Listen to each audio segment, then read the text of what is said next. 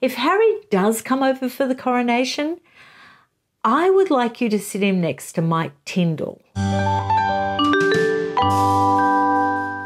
Because he had a go at Princess Anne. Now, that's just my opinion because he doesn't name her in the book. So I may be wrong. I admit I may be wrong. See what you think.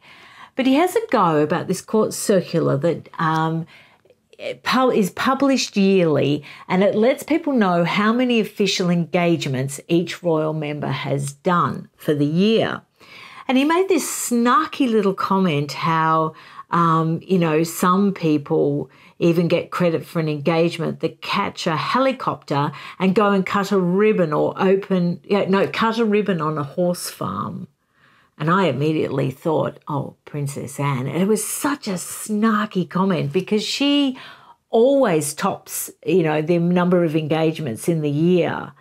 And I thought, how weak to sort of have a pot shot, a pointed pot shot at your aunt like that, not have the courage to name her clearly who you're having a go at. So it's sort of like this passive aggressive little snarky comment. Could be wrong. If Harry would like to clarify that snarky comment and tell us who he was talking about, by all means, maybe you could leave a comment down below, Harry.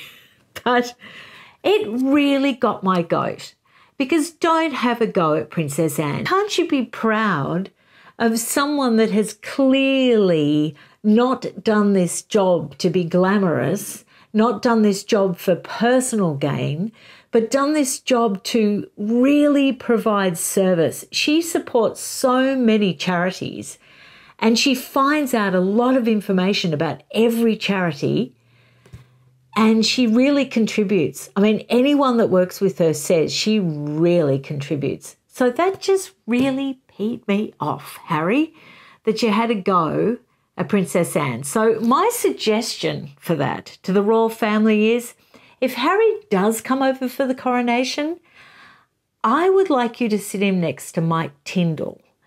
And Mike, I would like you to read page 237 where he has a go at your mother in law. And I think you should take any action that you deem necessary. I'll see you again next time. Bye.